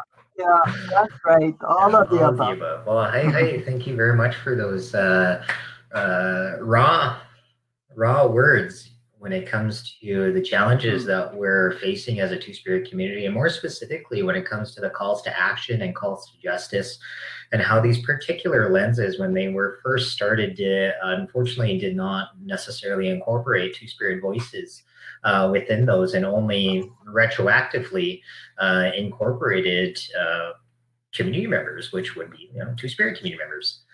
Um, I think it's uh, just a, a, quick little side note. When I was at the standing committee yesterday, uh, talking about conversion therapy, that was one of the biggest points that I that we needed to get across was the fact that conversion therapy is only in place in Canada due to colonialism and the malicious malicious Mm. use of religion and the way that we uh, deem what the proper quote unquote human experience is and how within our larger society that's what we're trying to that's that's what it's trying to uphold is that one mentality when in actuality we as indigenous people and more specifically two spirit people understood that we're all unique Mhm. we're all diverse uh, and we all deserve uh, to live free full and fulfilling lives um, so in saying so, I'm gonna toss this back to the attendees. So get ready, attendees. We're gonna open up the second half of this particular polling question. Uh, so feel free to go over to your live polling section. Uh, so I know this was a little bit of a lead in, into this, so we kind of gave you, gave you something to chew on as you're looking at uh, the poll. Um, but it, uh, for attendees, please go ahead and go over to there and answer, do you believe the concepts within these documents are being utilized or upheld? Um, but in saying so, uh, I'm going to circle back to the first polling question that stated, how much do you know about the TRC and MMIWG2S calls to action? Uh, 5% said just the TRC, 14% said just the MMIWG2S, uh, 24% said very little, and a large amount, uh, that being 57% of our attendees, said that they do not uh, know enough about either. Uh, so just also goes to show that our larger push when it comes to the awareness of these calls to actions and calls to justice are, are not out there for the general public. So feel free to uh, participate in the second portion of the live poll. But in saying so, we're now going to move into our third question for our panelists here. Uh, uh, all right, so Marjorie, if you would like to go up first. I will ask the impacts of racism within healthcare have been highlighted quite widely for people who are non Indigenous this past year. In your experiences and interactions, how has the landscape for Indigenous peoples, uh, when you first started uh, your activi- activism for HIV and AIDS, uh, how, how was it and how has it changed? Oh, it's a tough one. Racism, it's the biggest epidemic we face here in Saskatchewan. Uh, it's always been there. It's an underground current and then it rears up its ugly head. And it has become more so in the last few years that that people seem to think they have permission to to be racist now that they didn't have before. Like they were it was hidden but now it's right out there out in the open and it's accepted and acceptable behavior. And i find that really scary that that people getting away with all that that uh, hate uh, and and uh, and we're the the people that are suffering the most because of it are the ones that that are hurting the most already. So um it's uh i find it hard to uh i mean everything is being uh accentuated and even more with with uh the land struggles the water these you know people uh the the ecological imbalances the loss of our relationship to all these things it, that's part of the racism too and people don't understand and still don't want to know um, some people are doing the work but like uh, mostly i said to people like in the anti-colonial frame of reference it's like when you don't know anything about our worldview how can you judge us? Because it's really about worldviews colliding and you know if you can't come and sit in the circle with us or dance in the circle with us or come to ceremony with us you'll never know who we are and and uh, that bridge again is not there for a lot of people they just uh, they stay in separate worlds and and uh, so uh, how to how to i'm tired of educating people uh, do I did anti-racism work for many, many, many, many years, and I realized, you know what? It's not going to change. They don't need to change. They just want to feel good. And and I don't do any more of those uh, one shot deals. You know, no more one one night stands. Uh, it's it's uh, you have to engage on a long term basis and make relations. That's the bottom line. You have to make relations, and that's hard work. And that means having hard conversations, and and uh, that's how we're going to change is having different relationships. Either have a, a, divorce and say okay you go your way i go mine or we join together and make it different. But it, it's all about relationship and you don't have a relationship then don't come to me and ask me to do a blessing for some meeting of yours you know? Like uh i don't even know you so so how can you you ask me how to, to, to come and do this for you? I, I have no connection to you. And and so let's make connections first and then maybe we'll talk about doing other things. But it's like making relations. If you don't have relations, then there's no real partnership.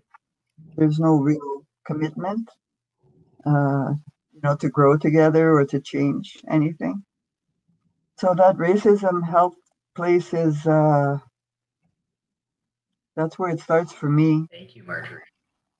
I don't know if I answered the question, but uh, I hate going first. That's all right. Thank you. Yeah, the uh, respectful reciprocal relationships are of the utmost importance when we're looking at dealing with uh, breaking down racialized uh, discriminatory practices. Hmm. Um, so we're, yeah. we're going to uh, then move over to uh, Dr. McLeod when it comes to the impacts of racism within healthcare. Uh, that have been highlighted this past year in your experiences and interactions how has the landscape for indigenous peoples how did it i suppose start or what was it looking like when you first started your activism with hiv and how has it changed over the years well, I don't think it's changed that much. As I mentioned, you know, I think it was through our uh, stepping up to the plate early on that we've mitigated the number of HIV cases, AIDS cases in Canada among Indigenous people. Uh, but I think the system hasn't kept up with us, as we know, you know, with the content of uh, the events this week. You know, we have uh, the Feast Center, uh, we have the Waniska Center around HIV and STIs getting funded to begin to do this work on a massive scale. And it is through, you know, the work that we've done over the last 30 years. But I just want to talk about this idea. And Angela Davis, who is a well-known uh, African American activist from the 60s. Uh, she's part of the Black Panthers. Uh, she spoke in Winnipeg a couple years ago. And she said something that really struck me is that in colonization, and in the case of the uh, people who were, you know, taken from Africa, you know, kidnapped from Africa and enslaved in America for the cotton industry, she said there was really no plan post Civil War for these people to be free, to be equal citizens. And so, what's happened since that era is uh, that society has created this uh, group of people who are considered their surplus people, right? They were not, never intentionally meant to be part of that society.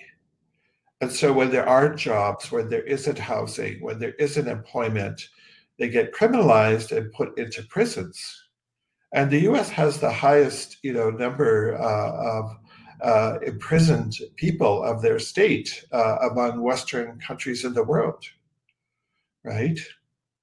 And I thought this is the same as in Canada. You know, First Nations, Inuit, and Métis people were were considered surplus people by these systems, right? There's no intention of giving us equality or equity in health right? And the data shows it. You know, look at TB, consistently numbers over uh, representative among uh, indigenous people. Uh, HIV, you know, uh, health people are blind to the data. It's so normalized, right? That gay men, you know, uh, people of color, indigenous people should be overrepresented in HIV cases that it doesn't have an impact anymore and I always make a point to people I work with uh, in the health systems. I said, you know, your job is not to monitor epidemics or pandemics. Your job is to prevent them, right? And that's what I see in Canada. You know, people who are professionals, trained you know, decades of training and experience in the healthcare system who are, are blind to the data and they see the numbers jumping off the page and they're disempowered or not able to move the needle, not able to solve it, right? Uh, and you know, uh, Manitoba had the second highest rate of HIV transmission in Canada for a number of years. Uh, Saskatchewan had the high, the highest, uh, and now uh, I think Quebec has replaced Manitoba last year. But you know, we collect this data for a reason, and it's to prevent illness.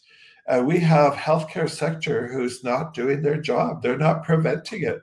They're just looking at the data every year and just doing the same old thing right?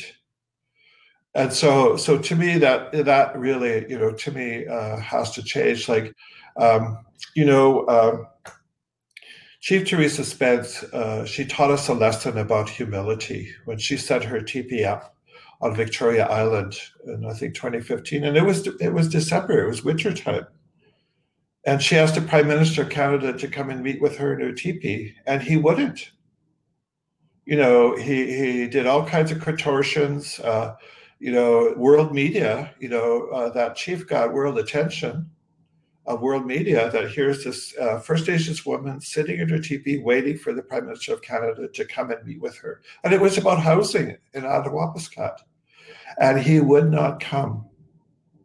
And, and she taught us a lesson about colonization. Is that it was the Indigenous women who help people survive, right? The settlers, food, clothing, you know, uh, teepees. And our prime minister had forgotten that story. And for him to bend, to get into her teepee would have showed that recognition of that history and that relationship with Indigenous women in Canada. And he would not do it. And that's what we're talking about is humility. These systems have to bend in humility, not to indigenous people, but to the land that we're living on, the land that has given newcomers this whole lifestyle of privilege, right? Uh, and COVID has shown us, you know, uh, how that bubble can burst so easily when we forget this relationship, right? And now we all have to sit in our homes, can't go outside. And so that's what I mean, you know, uh, that, that humility uh, in how we've learned to coexist with the natural world is embedded in our language, our life philosophy, our medicines, our ceremonies, you know, uh, how we relate to each other. And, and that system is not humble enough to open its eyes, open its ears uh, to be able to implement it. It's still combative and resistant to that. And we're always going to see disease because of that. They will not invest in our traditional way of healing. And, and you know, uh, maybe COVID will change that attitude. But I just see uh, different healthcare systems across Canada digging in their heels, right? So anyway, that's my little diatribe for this. It's new, almost noon now. Thank you very much for that. Martin, you're gonna run over to you when it comes to the mm-hmm. impacts of racism within healthcare that have been highlighted this uh, within this past year. Uh, in your experiences, what are the interactions uh, and the landscape like for Indigenous people when you started activism, and what have you noticed has changed? I just want to um, start by saying that it's been a real pleasure and a real learning experience to sit on this panel um, with the elders that we have present. Just to hear and learn more about kind of the larger scale impacts is just um, it, it's really eye opening, and, and I'm just appreciative for for the words that have been shared. Um, I mean, I, I, I can really only um, share from my from my own kind of um, smaller experiences within the healthcare system, and, and you know, like upon diagnosis, it was it was a really difficult kind of landscape for me to navigate on my own. um, you know, because of the shame that I had placed on myself and, and because of my previous experiences in the healthcare system. And, and I remember being assigned a, a general practitioner and, and, you know, not being touched and, and, and being spoken to very coldly and, and having it very cut and dry and, and a lot of pressure put on me by healthcare professionals that that I had to disclose that I had to disclose with the people I was living with.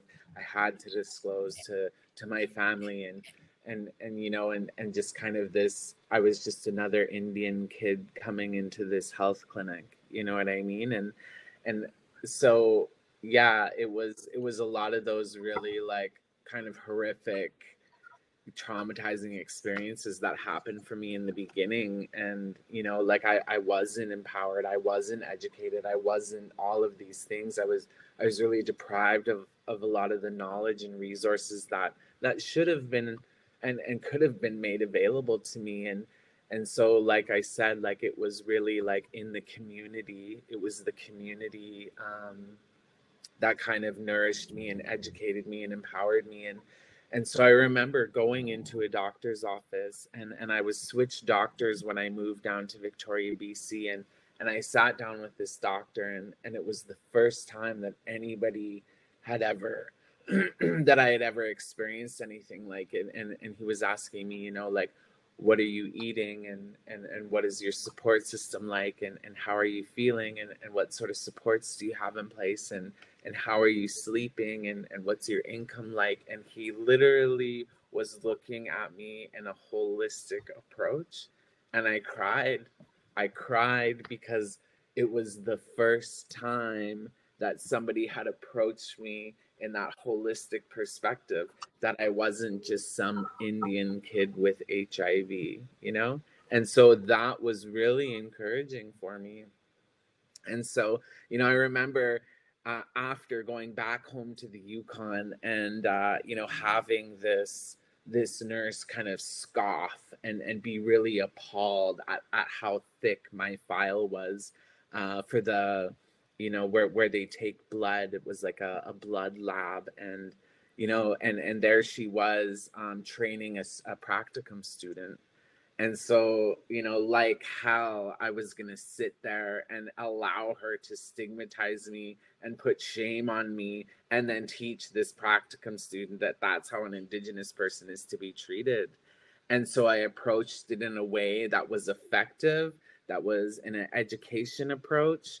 And yeah, and and and so I really think it's it's my own progression throughout being able to navigate the healthcare system and you know there is examples there is some really shining examples of you know people that are doing work on the ground and i really want to acknowledge that is that there are those outreach workers there are those harm reduction workers there are those street outreach workers those you know street nurses and and you know peer navigators you know like i think uh danita I, I can't pronounce it. well Wahpoosewyan in Saskatchewan, she mentioned in the discussion forum, you know, talking about all of these, uh, you know, peer navigator projects that are that are popping up all over Saskatchewan, and and so I really think it's important for me and and for other community members to really to recognize the work that's being done because when I was diagnosed, there wasn't a peer navigator there wasn't anybody that approached me that had lived experience. I literally had to leave the Yukon and go out and find that for myself. And it wasn't provided to me in the healthcare system. It was something that I had to seek outside of the mm. healthcare system. And so I really am a strong believer in, you know, a lot of this peer led involvement and how effective that can be within our healthcare systems. And, you know, just another thing too is, um, yeah, like I mean, the things that you hear in the media that are just horrific of of how indigenous women and, and how indigenous people are being treated within our healthcare system and and without getting to like conspiracy theory or whatever but you know I, I just think that mm-hmm. a big contributor is is we have a media and a social media that is designed to oppress those kinds of things. It's like you have all of these indigenous people shouting and shouting and shouting and making these movements and and where is it on the news? You know, where where are these platforms where where we're able to deliver these things on a wider scale to to wake people up? And you know like it's it's really it's really sad to see things like the george floyd that took place you know in the united states but but look what that did. That shook a country you know that you know people stood up and people were fighting for that. And you know like you have things like idle no more and and these movements that can happen in canada. And so i mean yeah it, it would be really interesting to see you know what sort of impact we could have if it was made available at a more i guess wider accessibility and, and a wider scale. But yeah again mm-hmm. i think the progression that i've seen in the healthcare system is in the peers, is in the indigenous people living with hiv that are you know there is some some space being created where they can come in and, and use their medicine and their lived experience to have a positive impact on people that are you know indigenous people that are accessing healthcare. And and so uh, i raise my hands to community members like danita um, you know for doing that really important work. And you know the downtown east side here in vancouver i've been you know fortunate enough to be able to contribute to those communities. And i'd just like to say that you know there is some action that's taking place that's that's benefiting uh, you know people uh, in the healthcare system. But you know it's it's kind of a small cry in in the larger scale things that dr albert mcleod was talking about. But definitely there's there's effort there that i think needs to be recognized. Thank you very much for those uh, those insights and uh, things for people to really uh, ponder about what we can do more, uh, what it has looked like in the past, what it is currently looking like. Um, and uh, as I pose my next question to the panelists, I'm gonna I'm gonna come back to the attendees, but I'm gonna pose this question for you to think about, and we're gonna give uh, each of you about uh, roughly about 30 seconds to to answer this, as I'd love to get into um, one of our questions from the attendees, one to two questions from our attendees. So I'm gonna toss this to our our panelists to think about is uh, what advice would you give to an activist uh, just starting this journey, and what is needed going forward? Uh, so I'm going to give that to our panelists to think about, but I'm going to uh, remind our attendees that we are now going to open our last two polling questions, our live polling questions. So on the bottom of your screen there, uh, please go ahead and, and answer the following two attendees uh, in regards to how informed are you on Indigenous slash Two Spirit issues? Uh, and number number four is like, what has the TRC has the TRC been worthwhile? Worthwhile? There you go. To whom does it benefit? I think these are good questions to to ask ourselves about that. But uh, we are going to uh, then just uh, move into the aspect of what advice would you give to activists just starting this journey and what is needed going forward. So maybe we'll go over to uh, uh, Elder Marjorie uh, Beaucage and then we'll go over to Martin. Okay. I'm not sure about advice, but I would say work with uh, people who are ready, willing, and able, uh, and and not the um, the ones that resist because that sucks up your energy. And working with negativity is is not really changing anything. Um, I think another thing would be get a drum and beat it.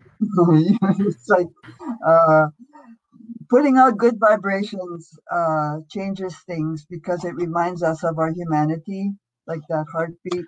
It connects us right away, and that drum draws people together, and anything like around ceremony draws people together and helps them feel human. Um, those are, are things I've learned along the way.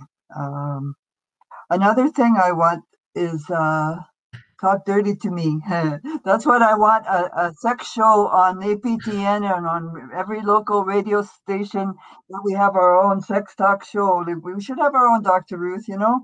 We should we should honor that sacred energy of creation that that energy of creator, whether we're making a loaf of bread, a baby, or art, it's all the same creator energy. And and we, we can make love, we can make good relations, we can send out those good vibrations. But I think if we had a, a forum, an ongoing forum that every week, or you know, people would would have a chance to uh, share their their uh, questions and needs and and stories that that uh, it would become normal to talk about sex. It would become normal to talk about our relations and and not just between men and women, but between two spirit and and with people who are intergenerational and and before that, you know, grandmas used to talk dirty all the time. I mean, they they, they, they tease about they tease about that and and uh, and all of those things. But now we don't do we don't see that anymore. Um, we have to have a place to do that. Have a uh, on an ongoing basis. That's Perfect. That's my. Thank thing. you so much, Marjorie. Maybe right. you can be our next Sue Johanson on uh, APTN. You know. Thank you. yeah, yeah. All right. Whatever. Over to your to yourself, Martin, for about 30 seconds here. What advice would you give to an activist just starting this journey and what is needed going forward? Um I wouldn't even take my own advice. so I'm I'm not gonna share advice. Um what I will say and what I will share is some of my experience is that I think it's really important for me to establish and nurture relationships in the communities that I'm working with and be really careful that I'm not extracting um, knowledge and that I'm not, um, you know, making things uh, like just really like the motives and, and, and how I'm working in relation with other people and, and, and how I'm supporting them and, and what it is that I'm asking of them and, and I think it's really important in activism to give people the freedom of their own expression and and and really just give them opportunities to present themselves and, and you know that's I think that's really important too. Um, I guess the other thing is you know i've always been taught that that you can't pour from an empty cup. And so there's there's a certain amount of like spiritual nourishment that needs to happen on a personal level before it can happen on a community level.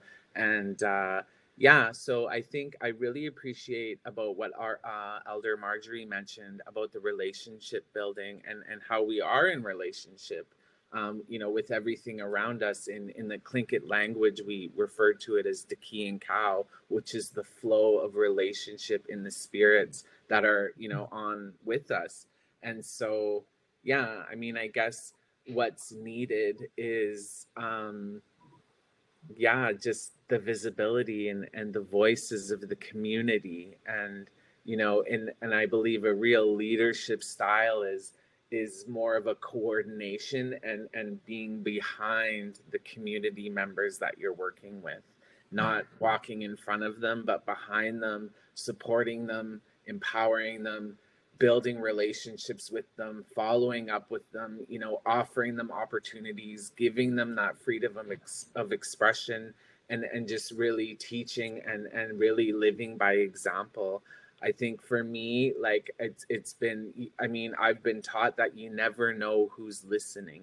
You never know who's witnessing what it is that you're doing. So the best thing you can do to contribute to your own community is to live your best life and and to try your best within that community because it's it's setting an example and and it's showing other people that that it's possible to do these things and and that's been my experiences there's so many leaders that have showed me and taught me that it is possible to do what they're doing and to become a part of those communities and active in those communities.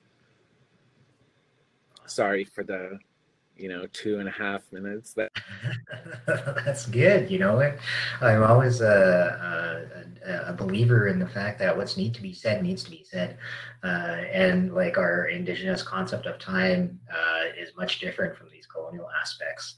So even though there's like a clock up there you know it's it's just a thing. That's all it is. Just a thing um, but thank you for those kind words. I think it's very important that we do highlight the respectful, reciprocal relationships and living our best life to be uh, be be be leaders. I think in in our own regards by lifting people up uh, through living our, our our best lives and our best journeys that we can, and being that example for for everyone uh, that we may know or may not know. You know, who's who's looking, even those little toddlers that are looking at us. They they see that, and we need to be those examples.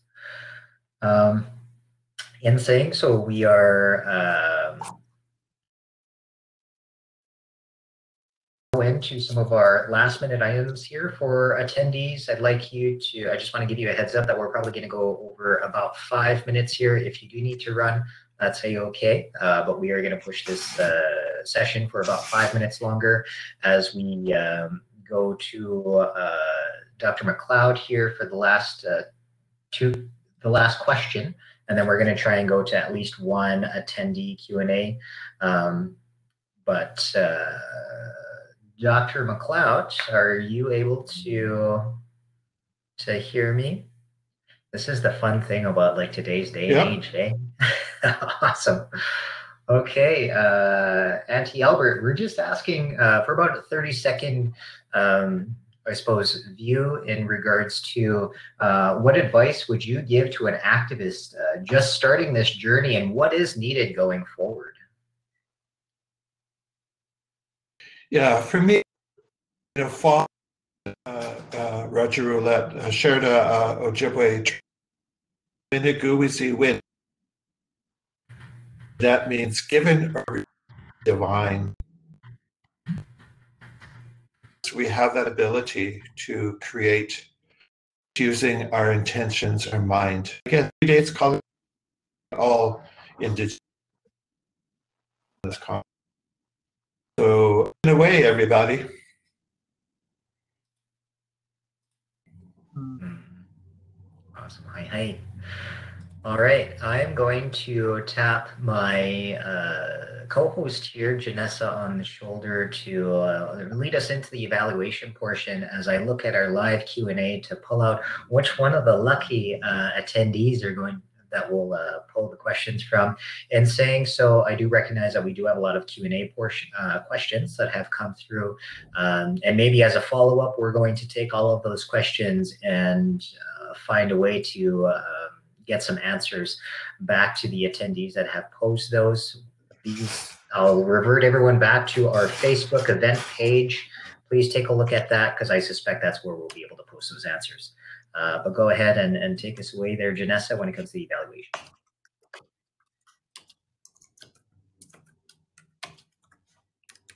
Oh, just glad. Awesome. Unji, if we can just get uh, Janessa pulled up on screen here.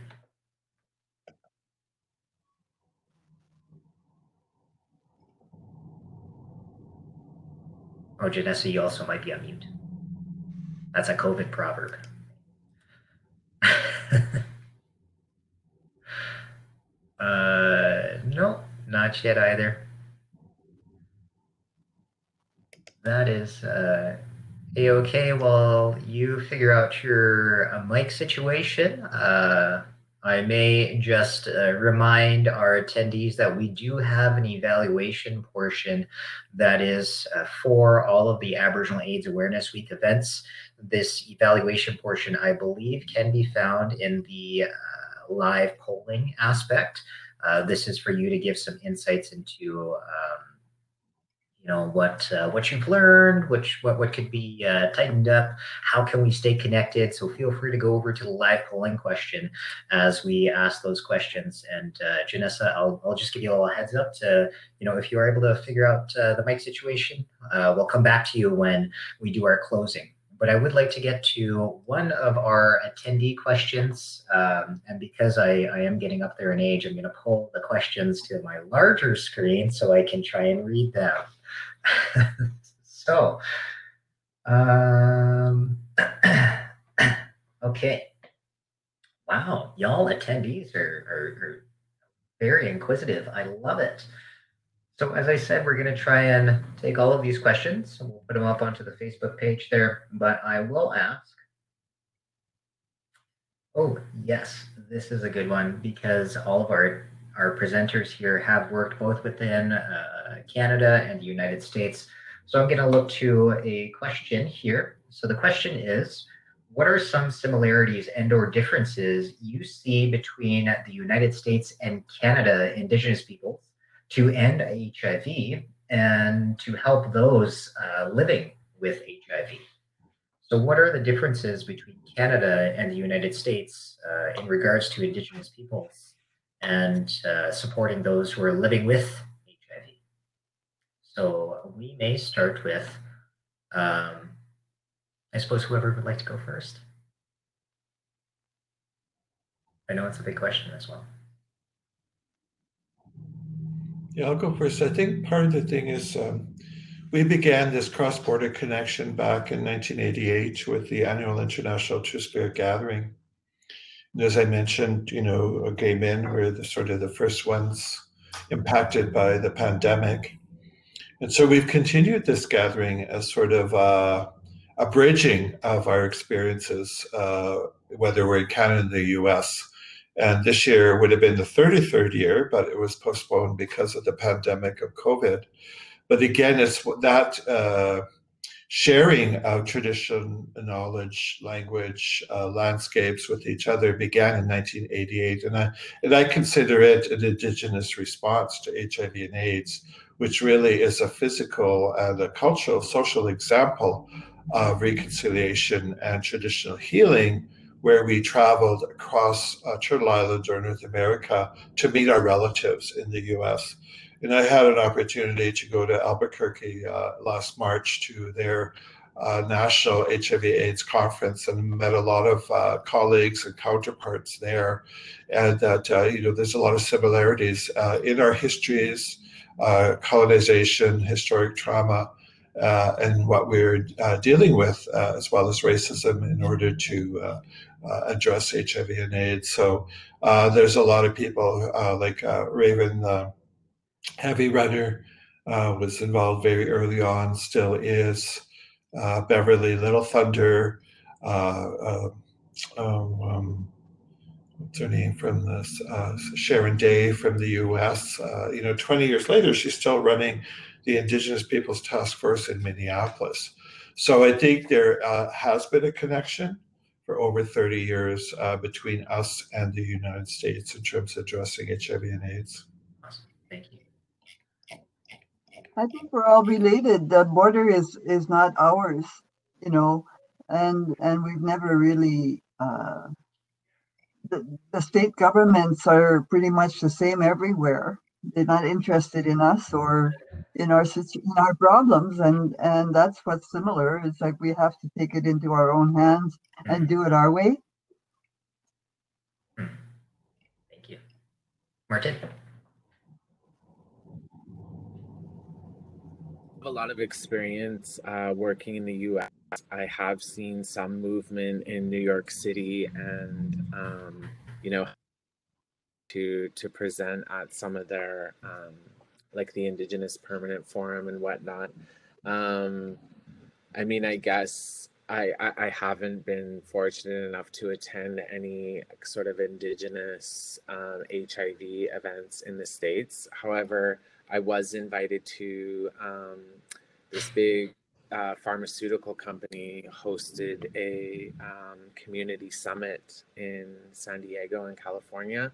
And and it was really hard to see that you know there a lot of the epidemiology and a lot of the rates and scientific kind of numbers that they were using and, and the way that they were making reference to those people. And so in a lot of their research there was there was no there was no indigenous people and, and, and this is one of the big pharmaceutical companies in the states and, and there's no research being done on on indigenous people. And so you you get into these conference rooms and, and you sit and you look at these big screens and you see black and brown and and and uh, they're referring to African American and Latino people. And I find it just yeah I mean that that was kind of what I experienced at, at this big pharmaceutical you know huge community summit and and they did make some time they did make some time um, to have an indigenous panel where you know people from Canada were able to stand up and, and contribute to that visibility of indigenous people. and so I'm grateful for them and, and that they had that opportunity. Mm, Um, thank you. yeah. Black, brown, and something else, eh? Hmm Pretty much. Yeah. thank you so much for that. Uh, our attendees, I want to thank you for your kind patience. We uh, will be downloading all of those questions that have come through uh, via the live Q&A portion. Uh, but at this moment in time, uh, I'm going to uh, bring up my, my, my, my co-host, Janessa here, and I just want to say a, a, a Kineskopmatin to uh, Marjorie, uh, to Albert, and, and to Martin for all of your, your kind words. It is much appreciated uh, for you to come here and share your experiences and to lay out these uh, these raw realities of the climate and the landscape for Two Spirit people uh, who may be living with, affected by, or who unfortunately have passed due to HIV and AIDS complications at, at uh, at some point in time. Uh, so thank you. Uh, we will be in touch. And uh, without further ado, we're going to close out this this session here. I'm going to bring in my uh, co-host Janessa. So Unji, if you wouldn't mind bringing Janessa on screen here when they're available. But in saying so, as we say, moistas to uh, Marjorie, to Albert, to Martin. Hi, hi. Oh, me, kisses. Like, catching those, catching those, putting them in my pockets for later. You know, got to keep those. um, yes, I do want to. Uh, I don't know if we're able to get Janessa up here on screen as of yet. Uh, Janessa is on main stage. Okay, I think. I do not see her on my end. Just a quick confirmation. Yes, no, maybe so. It could also be my own connection. She's in the green Oh. room. I think she's in the green room, the blue room. Stage, but I just can't hear her. I can see y'all. Can you hear me? I can hear. Yeah. Oh, Yeah. Oh, okay. Oh, there well, we go. you don't have to look at me. That's okay. Oh, no. Uh, if we can't, I don't know. Are we able to get me up there? If not, I'm happy to just chat. Um, I would like to again just echo what Jack said. Thank you so much for sharing your stories, your experiences. Um, for those of you who don't know, I'm a Master of Public Health student, and I'm really hoping to get into policy um, and program planning. And so I'm I'm here to listen, and I'm taking everything that you're saying, and I'm I'm storing that, and I really want to bring um, I'd like to make a change in the world. And so hearing what you have to say really inspires me. And I hope that I can help in whatever way possible um, to make access to healthcare um, and HIV more accessible for Indigenous people and make the processes in the healthcare system here in Canada more comfortable for people who are Indigenous here. Um, that's my goal. And if I can help one person, um, then that's you know i've done my job in this world. So thank you so much for sharing. And i'll take everything that you've said and and carry it with me forever. So just a reminder that there are some polling questions for the evaluation. And if you're able to complete those it would be much appreciated on behalf of the canadian aboriginal aids network and in partnership with OUTSaskatoon and jack saddleback i would like to thank you so much for attending this session uh, thanks for being here thank you for listening and this afternoon, we have some films that will be screened. So we have from our own Martin Morberg, HIV Healing Inner Voices, which is a new project that he's worked on just recently. We have Second Stories, which is a National Film Board of Canada film. And we also have one um, that Jack put forward yesterday. And Jack, do you want to talk a little bit about There's Heart Here? For sure. So the uh, there's heart here. Little, short documentary. It's about 16 minutes long. Uh, it's a roller derby champion, activist, uh, cyclist. Uh, actually follows three Indigenous members of the Two Spirit and LGBTQ community as a journey towards self-acceptance, supportive healthcare, and communities that celebrate them. As much as it does have this roller derby champion, which is like super sweet if y'all are into roller derby, uh, it also has this uh, this uh, cycle, this two spirit cyclist who happens to be uh, transgender. And the last story that is shown in there is an individual uh, who's living with HIV and the resiliency and sense of community that they have found within the Two Spirit community and, and the larger HIV community when it comes to uh, their own uh, being and identity. So it's a great little film, and I highly encourage everyone to uh, come and check it out. Come hang out with us. Come watch some shows. Yeah, so that'll be happening at two o'clock Central Standard Time, so three o'clock Eastern and noon Pacific time. And if you haven't registered for that session already, I'm just going to drop the link in the discussion forum here, and you can register for the afternoon session. So again, thank you so much for joining us. I hope you have a wonderful rest of your day, and we really hope to see you this afternoon at the film screenings. Thank you. Awesome. Can I put in a, can I put in a plug for my film? Yes. uh, Mimengwa Masinate was a community-based art project that I that I mentioned early on.